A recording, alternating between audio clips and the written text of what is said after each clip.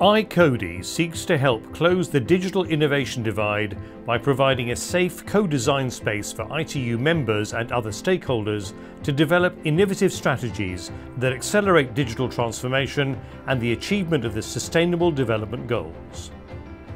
The design phase of I-CoDI, with the support of the Telecommunication Regulatory Authority of the United Arab Emirates, was completed in December 2020.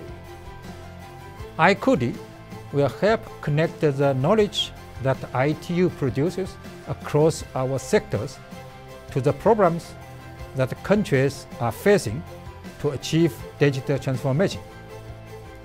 And I would like to recognize the UAE government for their support in the development of I-CoDI. The piloting phase for I-CoDI began in January 2021 in 2021, I-CoDI featured an internal challenge bootcamp to explore innovative ways for ITU to better deliver its capacity development programs.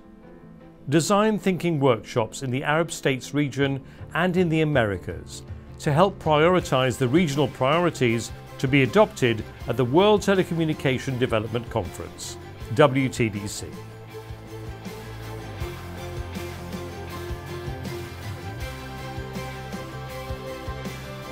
The two-day I-CoDI workshop provided an innovative way to iterate and crystallize regional priorities to prepare for the World Telecommunication Development Conference. In 2022, I-CoDI will explore how it can further support innovation programs for ITU member states and other stakeholders across the world. Stay tuned, get connected, try new ideas, do things differently and join I-CoDI.